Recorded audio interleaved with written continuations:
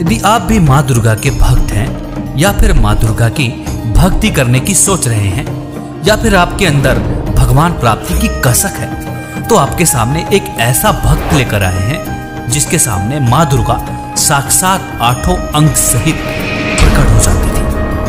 नारायणी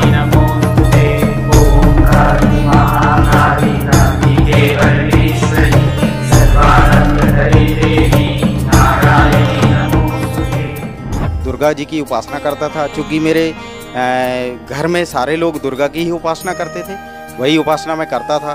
और दुर्गा जी का उपासना करने से जो मैं आपको बताने जा रहा हूँ कि दुर्गा जी ऐसे साक्षात आठों अंग सहित ऐसे तख्त पे विराजमान हो जाती थी। और हम उनसे यही प्रार्थना करते थे कि कैंसर था, कैंसर ठीक हो जाए आज जगत जननी है जैसा सुन रखा था हमारे गुरुओं ने, धर्म गुरुओं ने हमको बता रखा था कि दुर्गा ही सारी जगत की जननी है। तो हमने कहा, हमारे तो भाग खुल गए। ये इतना मतलब किसी को नहीं मिला तप तपस्या करते हज़ारों वर्ष। हज़ारों वर्ष तपस्या करने के बाद जो प्राप्त नहीं होता, वो मैं इन आँखों से देख पा रहा हूँ। मेरे तो भगवान मिल गया, मेरा मोक्ष हो गया, सारी चीज़ और तो मेरे रोग दूर हो जाएँगे पत्नी के, सारा हो जाएगा। लेकिन भगत जी, क्या बताऊँ? कि वो यही कहती रही, ठीक हो जाएगी, वो दूसरे दिन मेरी पत्नी की मृत्यु हो गई। मेरे जीवन में इतने कहर टूटे कि 26 साल की उम्र में मेरी पत्नी की मृत्यु हो गई कैंसर से। जब इस भक्त को माँ दुर्गा की इतनी भक्ति करने के बावजूद भी पत्नी की मृत्यु हो गई, फिर इसे भगवान प्राप्ति की चाह बनी। भक्त ने भगवान प्राप्ति की चाह में अपनी गर्दन तक काट डाली। अब देखना यह है कि क्या भक्त को भगवान मिला या नहीं। आइए आपको सुनवाते हैं द ट्रू स्टोरी पर इसकी सच्ची कहानी। मृत्यु हो जाने के बाद मैं सारी रात सोया नहीं। मैं ये सोच रहा था कि इस दुनिया को मैं बताऊँगा, कोई यकीन नहीं करेगा कि ये दुर्गा साक्षात देख रहा था और इसके बाद भी इसके ऐसे हाल हो गए कि पत्नी मर गई, कैंसर से मर गई। मैंने क्या किया? सुन रखा था, जैसे धर्मगुरु ने कि भाई मरने के बाद भगवान मिलता है। मरने के बाद भगवान मिलता है तो मैंने फैसला कर लिया सुबह में अपने आप को मार दूँगा और इसके बाद सफ़र करूँगा कि भगवान है कहाँ? जीते जी, भगवान तो मैंने देखा।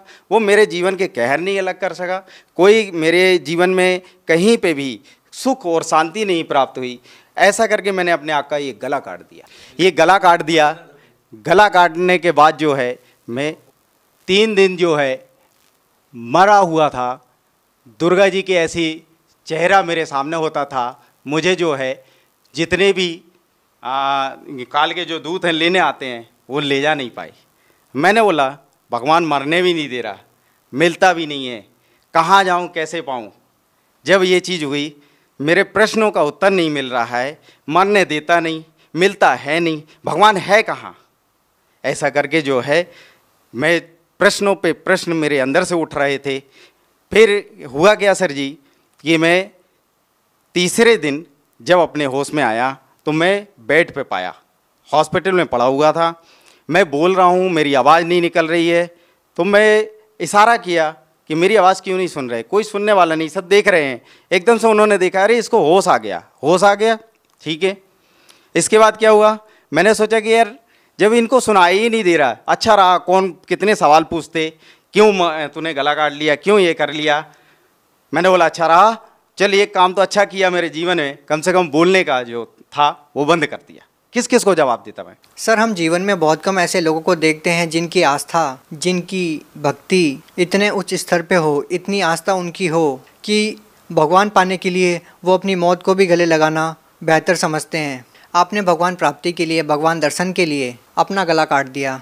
आपकी पत्नी की मृत्यु हो गई। जबकि आप कह रहे हैं कि आपको दुर्गा देवी साक्षात नज़र आती है, साक्षात दर्शन देती है। बावजूद इसके आपको आध्यात्मिक लाभ नहीं मिले, शारीरिक लाभ नहीं मिले।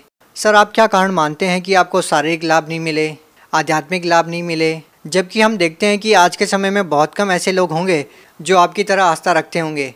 बहुत कम लोग ऐसे होंगे जो अपने जीवन को दाव पर लगा सकते हैं भगवान प्राप्त करने के लिए। सर, क्या कहना चाहेंगे? आखिर आपको आध्यात्मिक शारीरिक लाभ क्यों नहीं मिले? सर, इसमें ये है, जो आज तक हमारे धर्मगुरुओं ने जैसा हमें ज्ञान दिया, शास्त्र के विरुद्ध ज्ञान दिया और उसकी जानकारी दी, उसी पद्धति को हमने जीवन में सुना, आचरण में लिया, उसको करते रहे।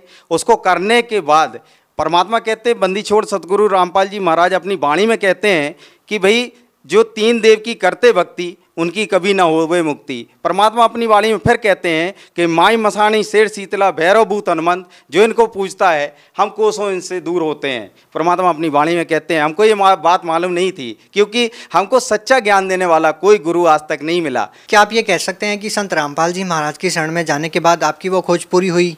बिल्कुल मैं ये आपको बहुत बढ़िया बात बताता हूँ। मेरे जब ये प्रश्नों का हल नहीं हुआ कि ये भगवान ये नहीं है तो वो परमात्मा है कौन? कहाँ है कैसे मिलेगा? मैं इस खोज में जब चला तो आ, मेरे माइंड में एक बात आई कि सा, जो सारे जितने चैनल्स हैं कहीं ना कहीं कोई तो गुरु होगा जो इस संसार के विषय में इस भगवान के विषय में जानकारी दे रहा होगा। ये प्रेरणा हुई मेरे अंदर ऑटोमेटिक पता नहीं क्यों अ, मैंने फिर सारे चैनल सुबह से बैठता था दिन के छः सात बजे जो है मैं बैठ जाता था और बारह, ग्यारह, बारह बजे तक मैं चैनल देखता था, सत्संग सुनता था। देखता था कोई राम की कथा सुना रहा है, कोई विष्णु जी को बता रहा है, कोई जो है कृष्ण जी को लीला बता रहा है, लेकिन कोई इसके आगे की कोई कथा ही नहीं बता रहा है। जब नहीं बता रहा तो मैं उनको फिर मोल्ड करते जाता था मतलब उनको चैनल चेंज करते जाता था। नहीं मिलता था, थक जाता था, दोपहर में खाना खाता, फिर सो जाता।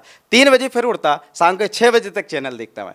चैनल देखने बाद वही कोई राम कथा, कोई कृष्ण जी की लीला बता रहा, वो गोवर्धन पर्वत उठाए, इसके आगे कोई ज्ञान ही नहीं। कोई नहीं, कोई हनुमान जी की उपासना बता रहा, आप ऐसा कर लो, ये हनुमान जी ऐसा चमत्कार कर देंगे, हनुमान जी पूर्ण परमात्मा है कलयुग में। मेरे को ज्ञान ही नहीं समझ में आ रहा, कोई हनुमान जी को भगवान बता रहा। फिर हुआ क्या कि मुझे जो है ये प्रश्नों का उत्तर, एक दिन जो है, बंदी छोड़ सतगुरु रामपाल जी महाराज जी का चैनल देखा। उसमें बंदी छोड़ सतगुरु रामपाल जी महाराज जो है, दुर्गा कैसे पैदा हुई, कहाँ से इसकी उत्पत्ति हुई, ये सदग्रंथों में प्रमाण करके सब कुछ बता रहे थे।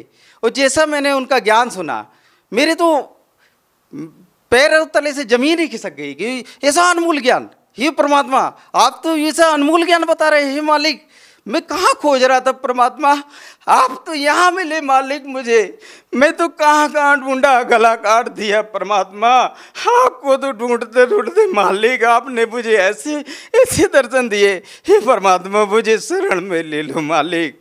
मेरा तो सब कुछ बर्बाद हो गया है यहाँ। दुनिया झूठ झूठ बोल बोल के और सबको बरगला रखी है। इनको सब मूर्ख बना रखा है। अपनी दुकानें चला रहे मालिक। ऐसा ज्ञान आपने जो निचोड़ करके सदग्रंथों में दिखा दिया, मैं तो ढूंढ रहा था परमात्मा। किसी ने आज तक, मैं बताऊँ आपसे सर जी, किसी ने आज तक सदग्रंथों को खोल के नहीं दिखाया कि देवी भगवत गीता में क्या लिखा है, गीता में क्या लिखा है, वेदों में क्या लिखा है, कुरान शरीफ में क्या लिखा है, पवित्र गुरु ग्रंथ में क्या लिखा है, पवित्र बाइबल में क्या लिखा है। गुरु ग्रंथ में भी परमात्मा का नाम लिखा है। सात सौ वाणी में भगवान अपनी वाणी में कहते हैं ये कर्ज गुत्तम पेश तू कौन करतार? हक्का कबीर करीन तू बे परवरदिगार वो मालिक का नाम बता रहे गुरु ग्रंथ साहिब में। सर आपकी बातों को सुनकर निसंदेह हर कोई विश्वास कर सकता है कि आपको संत रामपाल जी महाराज से नाम दीक्षा लेने के बाद परमात्म तत्व का ज्ञान हुआ। परमात्मा कौन है कहाँ है कैसे हैं? हम आपसे ये पूछना चाहते हैं कि संत रामपाल जी महाराज से नाम दीक्षा लेने के बाद आपको क्या लाभ मिले? बंदी छोड़ सतगुरु रामपाल जी भगवान जी से दीक्षा लेने के बाद मुझे मेरे शरीर में बचपन में मैं पेड़ से गिर गया था। मेरे रीढ़ की हड्डी में बहुत तकलीफ़ रहती थी, वो ठीक नहीं होती थी।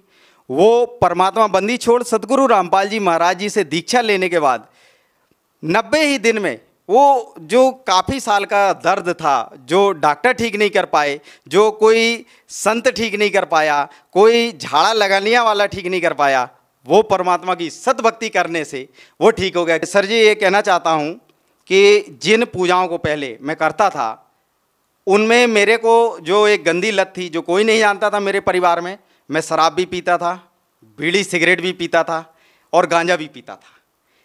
और मेरे घर के, मेरे परिवार के कोई नहीं जानते थे कि ये नशा ये करता है। उन पूजाओं को करते करते मेरे को ऐसी नशा की लत लग गई थी कि मैं पाँच पाँच लीटर शराब तक पी जाता था। लेकिन वो कोई जान नहीं पाता था, कोई पता नहीं कर पाता था। मैं आपसे बतलाऊं कि मैं बयान नहीं कर सकता हूँ शब्दों में ऐसी हालत को मैं प्राप्त हो गया था ऐसा नास्तिक होने जा रहा था कि भगवान इस दुनिया में है ही नहीं। आज जो भगवान पाने की प्रक्रिया जो बता रखी है उससे भगवान मिला वो लाभ नहीं मिले भगवान वाले। क्योंकि भगवान के लाभ सुन रखा है कि भगवान तो करुणा का सागर है दया का सागर है वो कुछ भी मेरे जीवन में नहीं ऐसा घटित हुआ। मेरे 26 साल सर आप इतना नशा करते थे आप नास्तिकता की कगार पे पहुँच चुके थे। सर आपका नशा कैसे छूटा फिर? बंदी छोड़ सदगुरु रामपाल जी महाराज जी की शरण में जाने के बाद मैं सर जी आपसे बताऊँ मेरा नशा एक सेकेंड में ही छूट गया वो। जो लत थी मुझे इच्छा ही नहीं हुई परमात्मा की शरण में जाने के बाद। सर अब आपको कितने वर्ष हो गए हैं कि आपने नशा नहीं किया? मैं जब से 26 एक 2014 को अ, मैंने परमात्मा बंदी छोड़ सदगुरु रामपाल जी की शरण में गया उस तारीख से वो सारे नशे छूट गए एक ही पल में। सर हम आपसे एक और बात पूछना चाहेंगे। कहीं ना कहीं संत रामपाल जी महाराज के जो अनुयायी हैं उनके निशाने पर ज़्यादातर हिंदू देवी देवता ही रहते हैं, क्योंकि वो कहते हैं कि उनको देवी देवताओं के पूजने से कोई लाभ नहीं मिला। हम आपसे ये प्रश्न पूछना चाहेंगे कि कहीं संत रामपाल जी महाराज हिंदू धर्म के खिलाफ कोई साजिश तो नहीं रच रहे? आखिर संत रामपाल जी महाराज किस धर्म को श्रेष्ठ मानते हैं? ये गलत है बंदी छोड़ सदगुरु रामपाल जी महाराज जी ने किसी भी प्रकार से किसी भी धर्म के प्रति कोई साजिश नहीं रच रखी है। परमात्मा बंदी छोड़ सदगुरु रामपाल जी महाराज जी ने क्योंकि उनका एक स्लोगन ही है एक कि जीव हमारी जाति है मानव धर्म हमारा हिंदू मुस्लिम सिख ईसाई धर्म नहीं कोई न्यारा। सर यहाँ पे हम एक और बात पूछना चाहेंगे कि क्या सारे ही गलत साधनाएँ केवल हिंदू धर्म में हैं? मुस्लिम धर्म के बारे में आप कुछ नहीं कहते हैं। आज बहुत सारे धर्मगुरु हैं। मुस्लिम धर्मगुरु में मैंने एक नाम सुन रखा था जाकिर नाइक का। उन्होंने बहुत खुला चैलेंज किया था कि आज इस संसार में कोई भी गुरु हों दो कोई भी महात्मा हों दो कोई भी शंकराचार्य हों दो मैं उससे डिबेट करना चाहता हूँ। मैं डिबेट करने के लिए इच्छुक हूँ। बंदी छोड़ सतगुरु रामपाल जी महाराज जी ने बहुत अ, उनको इनविटेशन दिया कि आप हमारे से ज्ञान चर्चा करें। उसका सारा खर्चा भी हम देंगे अगर आप वहन नहीं कर सकते। वो साधना चैनल के माध्यम से आप अपना अ, चर्चा करने के लिए अ, आ सकते हैं। आपका स्वागत है। बंदी छोड़ सतगुरु रामपाल जी महाराज जी का ज्ञान ऐसा है कि इस दुनिया में उसका कोई सानी नहीं है सर। सर अंतिम प्रश्न आपसे पूछना चाहेंगे कि एक ऐसा धर्मगुरु एक ऐसा संत जो आपको आध्यात्मिक ज्ञान देते हैं जो आपको शारीरिक लाभ देते हैं आपको मानसिक लाभ देते हैं वो संत आज जेल में है। सर क्या कहना चाहेंगे इस बारे में? सर ये बहुत शर्म की बात है। आज ऐसे संत जो संसार में नशा दहेज प्रथा ऐसी कुरूतियाँ जो सा, सारे समाज को एक अज्ञानता में बांधे हुए हैं ऐसे संत को जिसने आज आज सारे संसार में नशा मुक्त बिना किसी दवाइयों के बिना किसी ट्रीटमेंट के उनके जितने भी शिष्य आप देख लीजिएगा कोई नशा नहीं करता मिलेगा कोई दहेज लेते नहीं मिलता है। आज सत भक्ति करते हैं सारे किसी भी प्रकार से कोई भी, किसी भी प्रकार का नशा में सहयोग तक नहीं करते हैं। ऐसे संत को आज जेल में डाल रखा है, ये बहुत शर्मनाक बात है। और आज संसार में ऐसी बात कोई नहीं बोलना चाह रहा सत्य की, जो जगत गुरु तत्वदर्शी संत रामपाल जी महाराज जी ने बताया। उनके ज्ञान को आज समझने तैयार नहीं है, खासकर ये भारत सरकार। भारत सरकार से कहना चाहता हूँ कि शर्म करना चाहिए। ऐसे उद्धारक संत जो समाज को एक जो है सत भक्ति करा के और उद्धार कराना चाह रहा है। ऐसे ऐसे समाज का निर्माण, ऐसे स्वच्छ समाज का निर्माण कि आज भाईचारा, अमन, चैन, सुख, शांति सब कुछ आ रहा है। जितने भी जगत गुरु तत्वदर्शी संत रामपाल जी महाराज जी के शिष्य हैं, आज आप उनसे मिलके देख लीजिए, कोई नशे में सहयोग नहीं करते, किसी प्रकार की कोई कुरुतियों को नहीं मानते। आज ऐसे संत को जेल में डाल रखा है, कोई सुनने वाला नहीं है। आज मैं भारत सरकार से ये प्रार्थना करना चाहता हूँ हाथ जोड़ के, ऐसे संत जो समाज उद्धारक हैं जगत गुरु तत्वदर्शी संत रामपाल जी महाराज जी को बहुत जल्द से जल्द बाहर लाएँ, उनको जेल से निकालें और उनका चरण बंदन करके अपना उद्धार कराएँ और मानव समाज में सहयोग करें। एक स्वच्छ मानव समाज बनाने में सहयोग करें। सर, आप भगत समाज को क्या संदेश देना चाहते हैं?